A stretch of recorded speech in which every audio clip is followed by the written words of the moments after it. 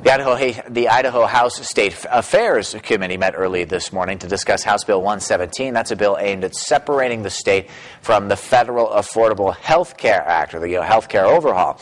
According to sponsoring Representative Vito Barbieri, the bill would declare Idaho a sovereign state and therefore could decide not to enforce a portion of the Affordable Health Care Act that forces people to buy health insurance or face a penalty.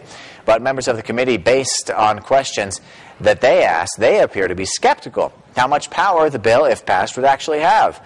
Representative Erik Simpson asked if the bill was unconstitutional, while Representative Elfreda Higgins wants to know if the bill opposes or resists the overhaul. Representative Barbieri said no matter what, the state is still bound by the rule of law.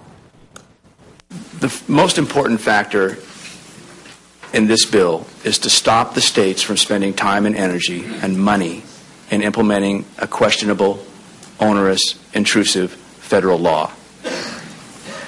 If the Supreme Court determines that it's constitutional, Idaho will follow that law. Representative Barbieri assured members of the House State Affairs Committee that while he has misgivings about, the, about following the health care bill, Idaho will follow the law of the land.